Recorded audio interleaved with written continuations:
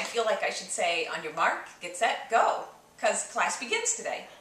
I know you already know the content of the course, but the discussion boards are open and so you can start posting.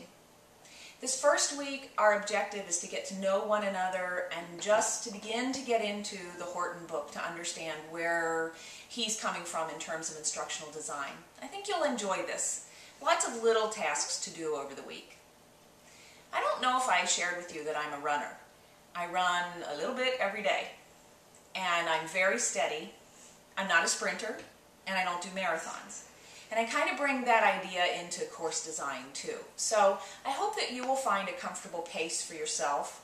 Come on in several times and let us know that you're present, but you don't need to respond 20 times a day. That's not what I'm looking for. And you don't need to, to be a heavy hitter every single day. But I do need to see some regularity. So put your running shoes on and let's get started.